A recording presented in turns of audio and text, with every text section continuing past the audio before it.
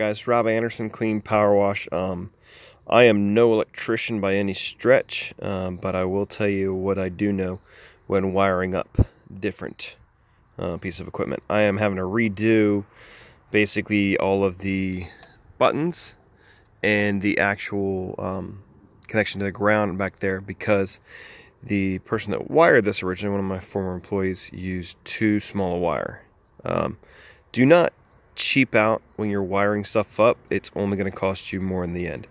This is what I bought. It's 14 gauge. It's much thicker. Um, let's see if I can focus on, on that.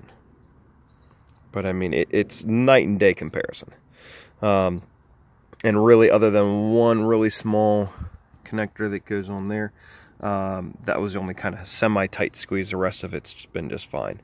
Um, you also want to make sure that once you do crimp it on there, See that? All right, that's all nice and tight. I did not crimp the last one with um, with actual pliers. I was using this wire stripper, um, which does an okay job. You just couldn't get I couldn't get enough force on it, so it did not do as good of a job as it needed to.